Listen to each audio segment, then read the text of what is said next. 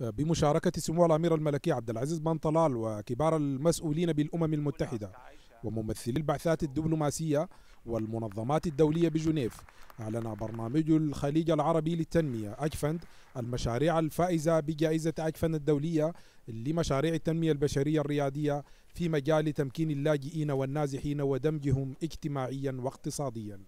أهمية الجائزة هي أن نبلغ دول العالم والمنظمات إن كانت حكومية أو إن كانت منظمات خاصة أو فردية بأنكم لما تعملون نحن نبادر في أن نشجعكم إن كانت بجائزة أو إن كان حتى بجلب جميع الأطراف إن كانت الحكومية أو إن كانت الخاصة في دعم مثل هذه المشاريع.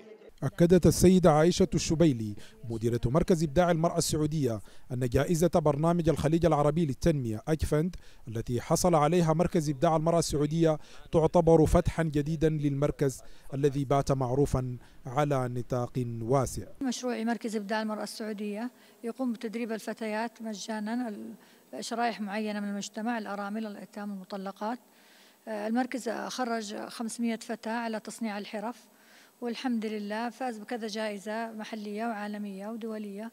والآن جائزة إجفند أنا أشكر جائزة إجفند أنهم رشحوني لهذا الفوز وأنا أهدي نجاحي للمملكة العربية السعودية وهذا فخر لي أني طلعت الأولى على العالم على مستوى الأفراد في جائزة إجفند. وأشكر الأمير طلال بن عبد العزيز حفظ الله على كرمه وإحساسه بهذه الأسر المحتاجة.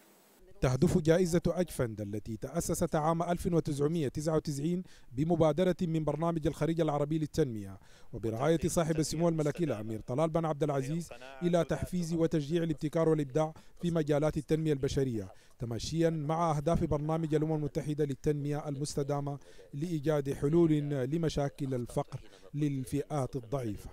The importance of this prize is uh, it uh, focuses on a subject to see in the whole world who is doing the best possible way serving the cause of that uh, particular team.